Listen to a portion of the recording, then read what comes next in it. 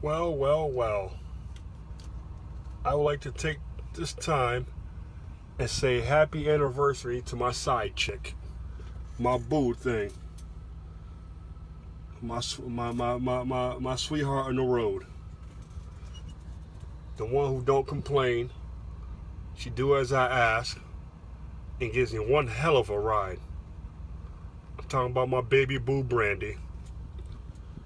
Today's it's two years since we got together. When I got her, she had seven miles on her. Now she's at 206,737, which means I put 206,730 miles on her in two years. And it's sad to say that we are in the shop. Um,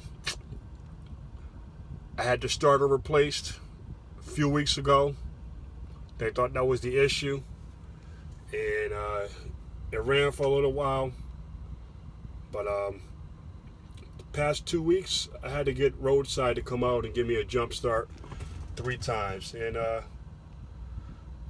kind of find out it's either the batteries need to be replaced on her or they said it's a loose connection somewhere. So here we are, sitting in the shop on our two year anniversary.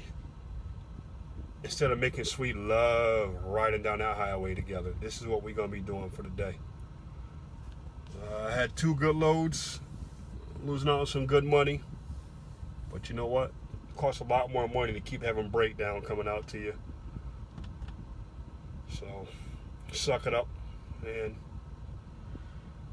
we'll get back out there when we get back.